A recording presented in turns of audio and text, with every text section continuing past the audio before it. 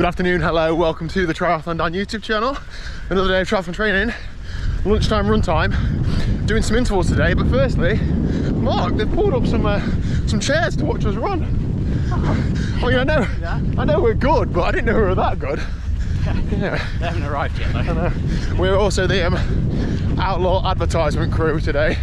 And Mark very tactfully just said to me in the car park, what did you say to me? Uh, my t-shirt comes up small as well. Thanks, Mark. Cheers.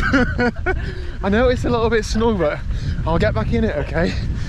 Anyway, so run session today is five and miles total, steady running, with eight times 30 second hill efforts.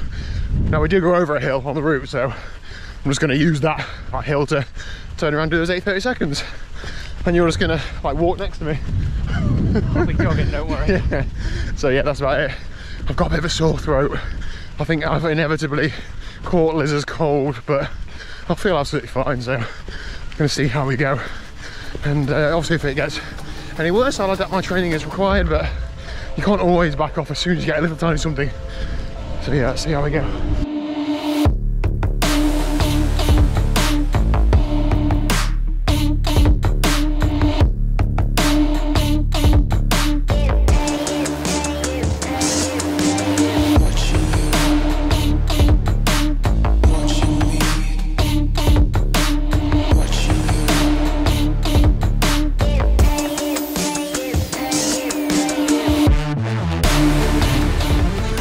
Whoa, hill session done and dusted.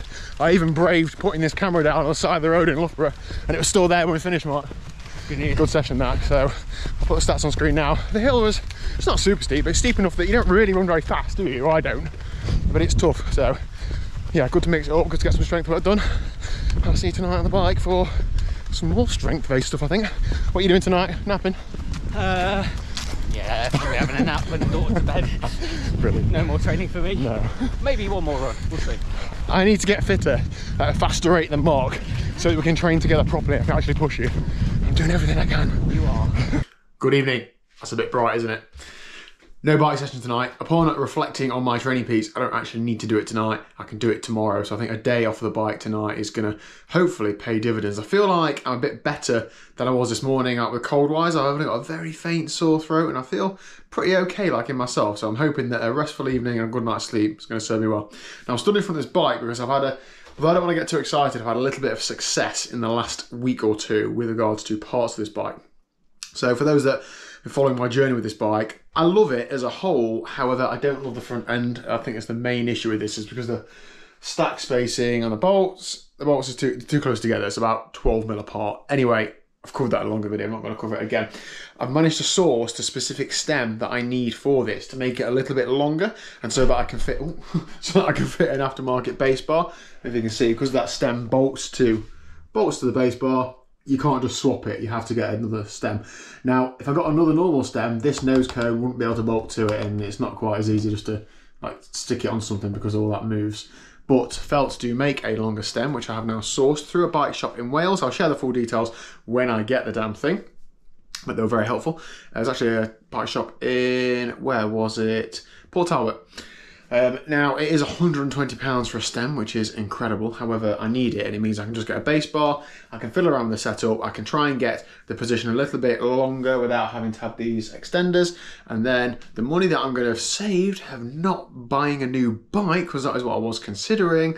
I think I'm going to try and get in the wind tunnel early next year, something like that. I do some like fabric testing, helmet testing, that sort of thing. There's not really much I cannot do or want to do to the bike wise, but just do a few things like you know where my bottle is going to be, spares box on, spares box off. That's that sort of thing is what I think I'm going to be able to do. But I'll update you when that actually arrives. What have I got to date with? I seem to be like um, showing you everything that I buy online now. This isn't isn't actually is exciting.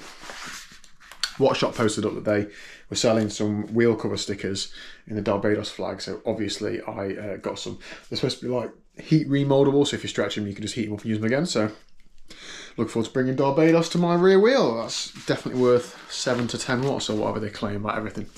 Anyway, that is it for today's video. Thank you very much for watching. Hope you enjoyed it. Hope your training is going well. Has anybody else got any more races this year, or is everybody pretty pretty much done? Let me know down below in the comments, and I'll see you tomorrow at one o'clock for some proper triathlon training. Back in the pool tomorrow. My shoulder's feeling all right.